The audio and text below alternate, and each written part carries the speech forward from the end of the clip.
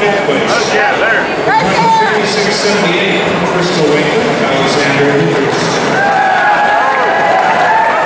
In a tie at third, with a time of 5632. Our first bronze medalist Crystal Jackson. And our next bronze medalist from Frisco Centennial, Travis Gulledge. Your today broke the existing conference 5A record with his time of 55.60. From Georgetown, silver medalist Landon Alphon. And your back-to-back state champion, who also broke